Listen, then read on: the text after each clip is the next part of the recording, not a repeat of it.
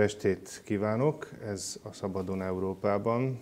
Uniós témákkal folytatjuk, ahogy kedves nézők megszokhatták. És mai beszélgető partnerem Fodor Csaba elemző. Jó estét kívánok! Jó estét kívánok!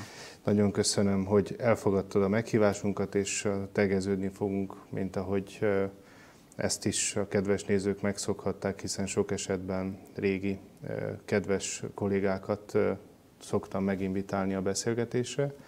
Mai témánk egyik apropója is lehetne az például, hogy frissen az adás előtt Brüsszelbe jártál.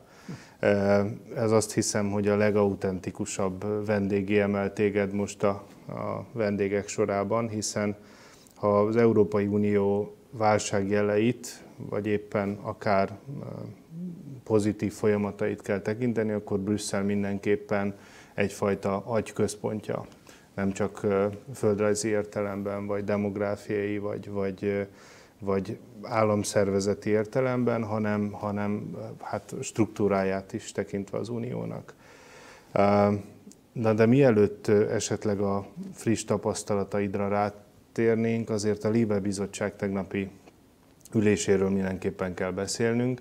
Amire rá szeretnék kérdezni nálad az az, hogy te hogyan értékeled, egyáltalán tényleg próbáljuk meg szakmailag tekinteni a kérdést, hogy hogyan lehet egy ilyen ülés, hogy nem a pódiumra ültetnek egy kormányzati tisztviselőt. Hmm. Gyakorlatilag felfokozott hangulatban, érzelmeiket nem palástolva szólalnak fel az európai parlamenti képviselők. Ez mire enged következtetni a mostani helyzetét tekintve egyébként Magyarországnak, meg általában az Uniónak?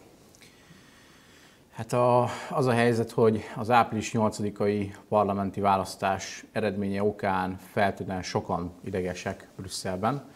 A tegnapi ülés is ennek egy ékes példája volt, hiszen példátlan felhatalmazás kapott a most megalakulásra kerülő parlament, illetve az újonnan felálló kormány. Ugye rekord részvétel mellett rekord támogatottságot szerzett a választáson.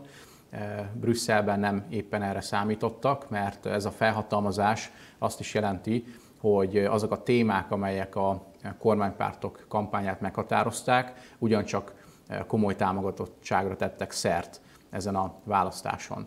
Miről van szó? Ugye a bevándorlási kvóta elutasításáról, a pragmatikus bevándorláspolitikáról, vagy éppen az Európai Egyesült Államok elutasításáról, tehát a nemzeti szuverenitásnak a védelméről. Önmagában az, hogy az Európai Parlament foglalkozik ezzel a kérdéssel, jelzi, hogy itt azért egy politikai szájízű vitáról beszélhetünk, hogyha az Európai Bizottságnak lennének fölvetései, bár ott is fennállna a veszély annak, hogy politikai színezetű támadásról beszélhetnénk, de amikor korábban voltak különböző viták a bizottsággal, akkor mindig sikerült jogi síkra terelni ezeket a vitákat, és lényegében minden alkalommal rendeződtek ezek a vitás kérdések, akár a korábban, hogyha emlékszünk a jegybanktörvényről, esett szó a médiatörvényről, vagy éppen a bírósági törvény módosításáról. Az Európai Parlament egy kicsit más terep, mert a jelentés elkészítői is arra engednek következtetni, hogy itt valamiféle politikai, teljes mértékben politikai színezetű vagy ízű támadás körvonalazódik. Szocialista, liberális, zöld képviselők azok, akik tevékenyen részt vesznek ezeknek a jelentéseknek az elkészítésében, és ha elolvassuk, tehát hogy tényleg szakmai szempontból próbálunk közelíteni ezekhez az anyagokhoz, akkor lényegében azért elég megdöbbentő az az élmény, amit ilyenkor megtapasztalunk, tudni illik, vagy ténybeli tévedéseket tartalmaznak ezek a politikai riportok, vagy pedig félinformációkból dolgoznak, és a félinformációk alkalmazása miatt rossz következtetéseket vonnak le, téves helyzetértékelést helyeznek előtérbe. Tehát az a helyzet, hogy fel kell készülnünk ezekre a típusú akciókra, határozottan meg kell védeni ilyenkor a magyar kormánynak Magyarország érdekeit, mert alapvetően azt kell, hogy mondjam, hogy ez egyfajta gyászmunka része, ami Brüsszelben történik, úgy, ahogy a budapesti tüntetésekről, vagy éppen az ellenzék házatáján körvonalazódó káoszról, hogyha beszélünk, ott is el lehet mondani a gyászmunkának egy sajátos része. Ez is, az a helyzet, hogy ez is. Igen, csak azt hiszem, hogy sokaknak egyébként párthovatartozástól függetlenül nem fér a fejébe, hogy a gyászmunka egy részét miért az Európai Parlament állampolgári jogi bel- és igazságügyi bizottságában végzik el, kiegészítve egyébként nőjogi meg alkotmányügyi bizottság tevékenységével, vagy éppen a költségvetési bizottság is véleményt mond. De alapvetően az úgynevezett LIBE bizottság az, amely 2010 óta folyamatosan eh, gyászolja azt, hogy 2010 előtti balliberális erők nem tudnak eh, hatalomra kerülni Magyarországon.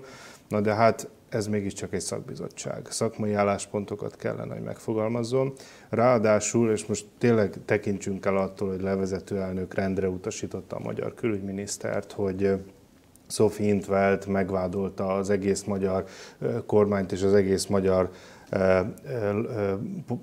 társadalmat, aki ugye uniós pénzek felhasználásával bármilyen módon érintkezett, hogy itt egy rendszer szintű csalás történik az uniós pénzekkel Magyarországon. Tekintsünk el ettől. Az egyes pontokból mondjuk kiemeljük azt, hogy a az igazságszolgáltatás kapcsán a bírák nyugdíjazás, hát ez egy lezárt fejezet. Az alkotmánybíróság működés, ezek lezárt fejezetek. Romák jogai, Járókai Lívia elmondta egyértelműen, ugye, hogy itt eh, a magyar eh, romák helyzete javult 2010 után, vagy éppen a zsidóság helyzetében nem nálunk támadnak meg kipában időseket, fiatalokat, a francia eh, zsidóságot ugye említhetnénk, amely egy újfajta antiszemita hullámtól retteg, ugyanígy a németeknél. Hogyan lehetséges mégis ez, hogy ilyen születik, mennyire alapszerződés konform, és egyáltalán valóban ez szakmainak nevezhető ez a támadás? Szerintem tényleg nem nevezhető szakmainak, mert ahogy te is említetted, felsorolták különböző területeket, jellemzően olyan témákat boncolgatnak, amelyek kapcsán volt is vita, jogi természetű vita, azok már lezárultak. Szóval ilyenkor tényleg az a helyzet, hogy az ember joggal él azzal a gyanúperrel, hogy itt eh, tényleg egyfajta gyászmunka elvégzéséről van szó egyfelől, eh, másfelől pedig van egy nagyon fontos programpontja azért ezeknek az embereknek, az pedig a migrációs politikával áll összefüggésben. Ugye Magyarország vezeti tulajdonképpen azt a tábort az európai országok közül, amely országok pragmatikusan mernek gondolkodni a migráció kérdésében, elutasítják az ideológiai alapú megközelítést, támogatják a határvédelmet. Sok esetben azt szeretnék egyébként, hogy erősebb lenne Európa, hogy a mediterráneumban végre rend legyen, ami az Európai Unió előszobájának számít, és azt merik ezek az országok mondani, amit a választópolgáraik elvárnak az országok kormányaitól. Ez nagyon nem tetszik ott a brüsszeli buborékban élő balliberális európai parlamenti képviselőknek, akik ráadásul a, rajta vannak egy olyan listán, amelyet a maga nyílt társadalom alapítvány készített, listázta azokat az európai parlamenti képviselőket, akikre számíthatnak fontos szavazások alkalmával, és ennek a szervezetnek az egyik legfontosabb célkitűzése most, és Soros György alapítványáról van szó, tehát ennek a szervezetnek az egyik legfontosabb célkitűzése az, hogy a gyakorlatban minden állam elfogadja azt, hogy azt a migrációs politikát kell követni, amit Soros György szeretne megvalósítani. És még egy nagyon fontos kérdésre hadd hívjam fel a figyelmet, mert itt ugye elhangzott az, hogy átláthatatlanság, meg korrupció van. Itt ugye azért a magyar választási kampányban volt egy nagyon komoly botrány, amikor az egyik soros szervezet képviselője egy hangfelvételen arról beszélt, hogy ő mennyi pénzt kapott azért, Soros György másik alapítványától, másik szervezetétől, hogy szó szerint ezt a kifejezést használta, kontroll alatt tartsa az európai intézményeket. Tehát látjuk, hogy mi ennek az átláthatatlanságnak a vége. Tehát, hogyha bevallottan vannak ilyen esetek, akkor más esetben is előfordulhat az, például a mostani jelentés kapcsán, vagy mostani report, egyszerűség kedvéért hívjuk politikai riportnak, a mostani politikai riport kapcsán, hogy vannak európai parlamenti képviselők, akik az arcukat adják ehhez a politikai akcióhoz, de nem feltétlenül ők írják ezeket a riportokat, hanem például azok a szervezetek, akik pénzt kapnak Soros György másik alapítványától, hogy ez is kontroll alatt tartsák azokat a tagállami kormányokat, amely Soros Györgynek nem tetsző politikát folytat, például migráció kérdésében. Ezt nagyon fontos, hogy szóba hoztad, ugye a tegnapi meghallgatáson egy osztrák EP képviselő antiszemita vádakkal illette egyrészt a magyar kampányt, illetve általában megpróbálta megbélyegezni a magyar kormányzatot. Ugye itt azt mindig el szoktam mondani, hogy azért az már Fajmantól kezdve osztrák kancellárokról beszélünk, ugye visszatérően vagy Kern kancellártól is tapasztalhatunk ilyet. Most tehát az azért elég zavarba ejtő, hogy egy bár nyilván nincs kollektív bűnösség, de egy Anschlusst végigcsinált Ausztria bármelyik későbbi tisztviselője generális antiszemitizmussal vádol mindenkit. És a, amit még szeretnék megjegyezni ennek kapcsán, hogy hiába próbálkoznak. Benjamin Netanyahu, Izrael miniszterelnöke, az Izrael ellenesség egyik fő harcosának, az újfajta antiszemitizmus egyik fő harcosának tartja a magyar miniszterelnököt és Magyarországot. Amíg ez a helyzet fennáll, addig gyakorlatilag ezzel csak üres vádakat fogalmaznak meg Magyarország tekintetében, én azt gondolom. E, viszont egy kérdés felmerül, mert nyilvánvalóan most, ha már szóba hoztad, hogy gazdaságilag is erősödnünk kell, még mindig nem tisztázott, hogy mi lesz az Egyesült Államok és Európa viszonya, és ebben a helyzetben mi hova állunk. Azt láthatjuk, hogy Afrika vonatkozásában Magyarország is támogatja az ottani segítséget, meg a beruházásokat, de például most megvétózott ugye egy EU-afrikai megállapodás Magyarország. De az nagy kérdés, hogy az erős Európát azt hogyan látják? Egy bevándorlás szervezéssel próbálják ezt az erőt fenntartani, vagy esetleg gazdasági téren is próbálnak versenyezni, és egy utolsó megjegyzés, ezt azért mondom, mert egyre inkább például azt tapasztaljuk, hogy a fejünk fölött köttetnek jó megállapodások, Európa egyre inkább kimarad, sőt már messze nem a vezető gazdasági hatalom. Ehhez képest ugye Viszont azt látjuk, hogy az Egyesült Államokban Donald Trumpnak határozott elképzelései vannak gazdaságpolitika tekintetében, és amit megjegyezhetünk, hogy a V4-eknek is itt van V4 Kína, stb. Tehát, hogy most jelenleg gazdaságilag stabil lábakon áll-e az Unió, és, és hogy állunk például az Egyesült Államokhoz való viszonyjal? Még egy félmondatot hadd engedjek meg ez az antiszemitizmus kérdéshez.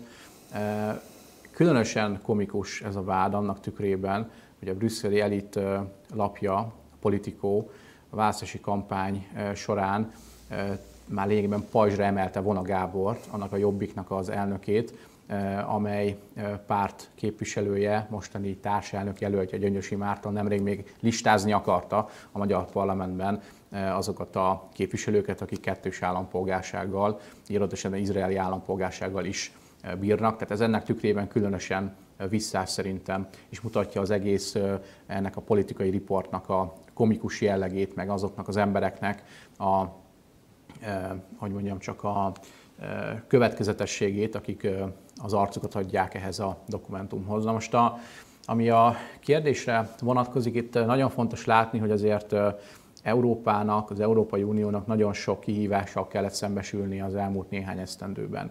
Az egyik ilyen kihívás maga az illegális migráció, vagy ahogy Brüsszelben e, szokták hívni, az irreguláris migráció, a, a terrorveszély és a terrorista e, támadások, vagy terrortámadások, de vannak más jellegű bizonytalanságok is, amelyek e, sokkal inkább rávilágítanak az Európai Unió és az Egyesült Államok viszonyára.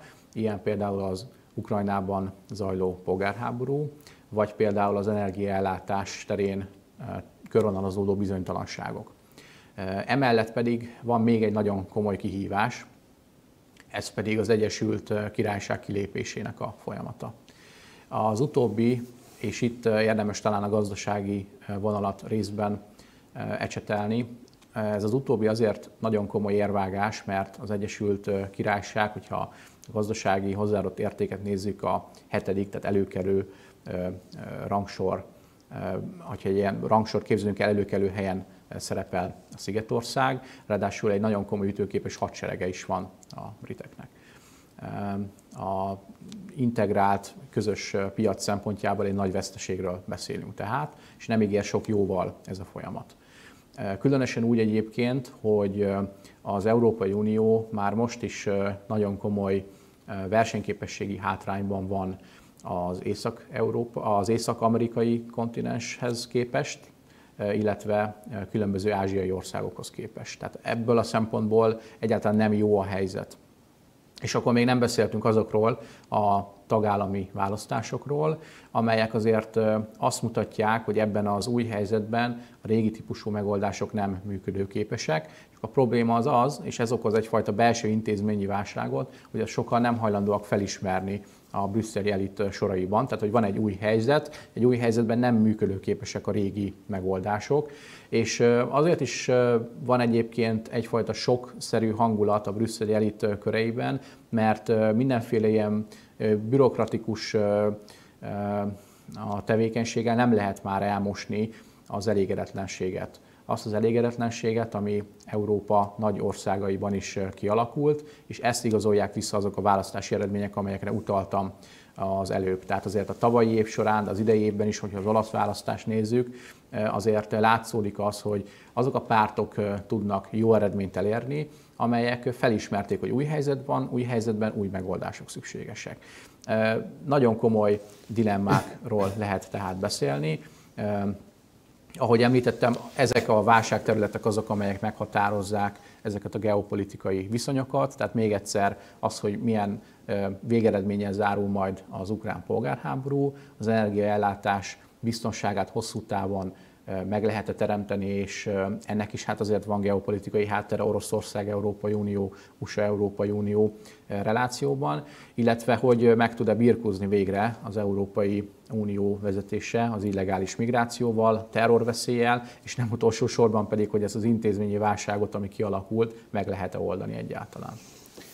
2019-ben ugye választások lesznek, parlamenti választás, új bizottságot fognak kijelölni, illetve új bizottsági elnök lesz. Nagyon érdekes a helyzet, mert ugye Jean-Claude Junckerről mégiscsak azt mondták, hogy Merkel jelöltje volt, a, akire nem bólintott rá, legutóbb Angela Merkel, az nem is lehetett a, a mondjuk így, hogy a az unió miniszter, miniszter tehát végrehajtó hatalmának, igen, igen, igen, gyakorlatilag a végrehajtó hatalom vezetője az unióban, vagy kvázi, és mégis hát ez a fajta függés fennállt Berlin és Brüsszel között. De most meggyengült Angela Merkel, minden jel legalábbis erre utal, Macron lett ugye az új erős ember, ez egyrészt befolyásolhatja -e szerinted a folyamatokat, illetve lehet-e, mert ez szerintem a nagy kérdés, hogy az olasz választások, az osztrák választások elindíthatnak egy olyan folyamatot, hogy ez leképeződik, ha lehet így fogalmazni az Európai Parlament összetételében is. Ez utóbbi nagyon fontos kérdés, mert ugye jövő május, májusának végén lesznek európai parlamenti választások. A szocialista frakció például izgulhat, mert ha végignézzük azt, hogy az Európai Unió tanácsában, ahol a tagállami állam és kormányfő foglalnak helyet, hány szocialista politikus van, nem sokat találnánk. Nem sokat találnánk. A svéd miniszterelnök éppen még szociáldemokrata, de egy-két kisebb ország vezetője az, akiről ezt még el lehet mondani, jó, Portugália, de összességében kevesen vannak. Tehát mondjuk, hogyha egy 5-7 évvel ezelőtti helyzethez hasonlítjuk ennek a tanácsnak az összetételét, akkor látszik, hogy azért a tagállamok szintjén már komoly átrendeződések történtek, és ez az Európai Parlament szintjén is érződni fog. A kérdés például, hogy a Macron pártja, amelyik jó eséllyel megnyeri majd a Franciaországban az európai parlamenti választást, melyik frakcióhoz fog húzni, valószínűleg a liberális frakciót fogják erősíteni, de egy olyan liberális frakcióról beszélünk, ahol még Babis pártja is tagsággal rendelkezik. Tehát valóban várhatóak azért komoly átrendeződések az Európai Parlament, a következő Európai Parlament szintjén is. Na most, ami a kérdést illeti általánosságban, az fontos látni szerintem, hogy önmagában persze jó, hogy a francia elnök írt egy dolgozatot arról, hogy ő hogy képzeli el az Európai Unió jövőjét, de ezt még azért alapvetően mindig a németek fogják meghatározni. Tehát az a helyzet, hogy Németország beleegyezése nélkül, vagy egy konszenzus kialakítása nélkül önmagában ez még kevés lesz ahhoz, hogy kijelölje azt, hogy milyen irányba fog menni az Európai Unió. Ennek van egy gazdaságpolitikai vetülete is, a franciák nyilván sokkal több forráshoz szeretnének hozzájutni, eleve a déli államokra jellemző az, hogy kevésbé szigorú költségvetési fegyelmet próbálnak követni, a németek egészen másik gondolkodnak e tekintetben, sokkal inkább a fiskális szigornak a hívei, és a, az európai monetáris folyamatok fölött is szigorúban örködnek.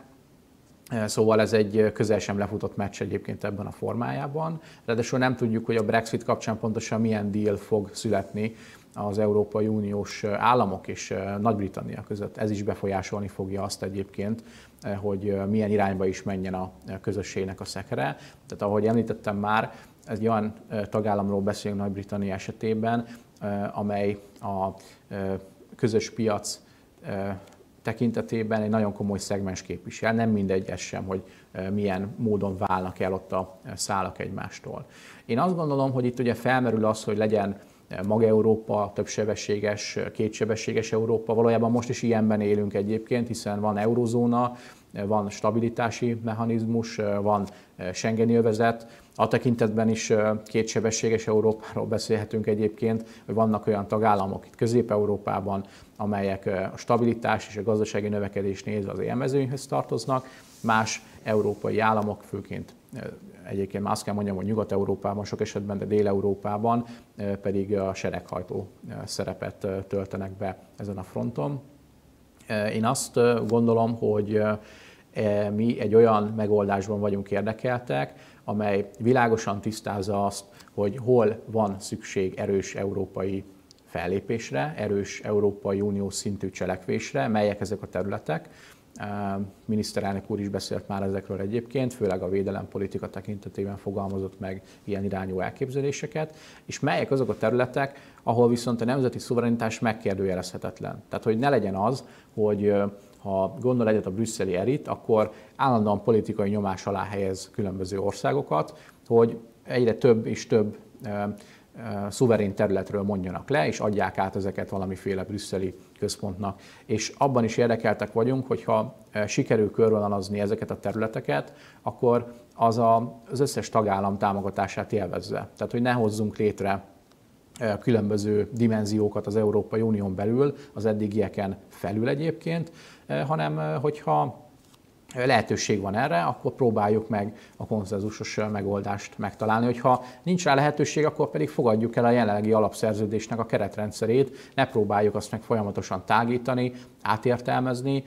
Ebben a keretben is lehet működtetni egyébként az Európai Uniót. Azokra a kihívásokra kellene mindenképpen a az orvosságot megtalálnia ennek a gondolkodásnak, amelyekről beszéltünk már ebben a műsorban. Önmagában az, hogy Európa Egyesült Államok kell, több Európa kell, még nem jelenti azt, hogy ezek a problémák megoldásra kerülnek.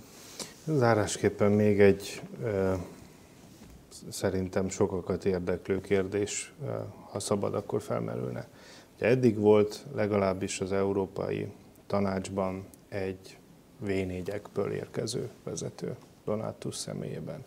2019 után a Lajtától keletre fog-e tudni delegálni bármelyik ország vezetőt az Európai Unióba, akár a tanács, akár a bizottság, akár a parlament tekintetében, azzal, hogy nyilván most a parlament vonatkozásában tudjuk, hogy, hogy nemrég választották meg az elnököt, de mégiscsak van-e remény az elkövetkező években arra, hogy újra lesz például a v részéről vezető, vagy pedig marad a maga Európa, és még inkább koncentrálódni fog?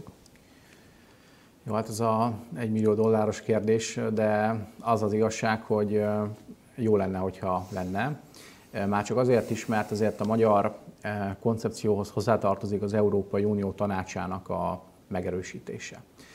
Tehát azért egy nagyon furcsa pervers helyzet alakult ki a mostani alapszerződés szellemiségével ellentétes módon egyébként, amikor is az Európai Bizottság, tehát a kvázi végrehajtó szerve az Európai Uniós intézményeknek, elkezdett politikai szereplőként viselkedni, holott az alapszerződés szellemiségét, hogyha követni a testület, akkor egy neutrális szerződések betartása feletti őrködést kellene csak ellátnia. És az Európai Parlamentnek sem lenne a feladata még egyszer az, hogy különböző tagállamokat pellengére állítson és állandó politikai összéz alatt tartsa ezeket az államokat. Az Európai Unió tanácsának kell, tehát a miniszterelnököknek, a választott miniszterelnököknek kellene irányt szabni az Európai Unió számára, és egy ilyen folyamatban most az, hogy lesz-e közép-európai vezető, vagy sem, mindegy tulajdonképpen, azt önmagában egy nagyon komoly eredménynek tartom, hogy ennek a régiónak most már egyértelmű szava van ezeken a fórumokon. A korábbi évtized gyakorlatával szemben megkerülhetetlenné vált a v véleménye egy sor európai sorskérdésben. Tehát most már nem lehet azt csinálni, hogy lesöplik az asztalról egyenként ezeket az országokat, mivel közösen tudunk fellépni ezekben a kérdésekben, ezért tulajdonképpen arra késztetjük nagy nyugat-európai országokat, hogy tárgyalik, a, a sokkal, sok esetben mutassák azt, hogy hajlandóak tárgyalni, komolyan venni a mi véleményünket, és azt gondolom, hogy ez jót tesz egész Európának egyébként. Én nagyon köszönöm, hogy egy tartalmas beszélgetés keretében legfontosabb aktualitásokat átbeszélhettük Fodor Csaba elemzővel. Köszönöm szépen én is. És köszönöm a kedves nézőknek is, hogy velünk tartottak. Legközelebb egy hónap múlva, ahogy megszokhatták, találkozzunk szabadon Európában a viszontlátásra.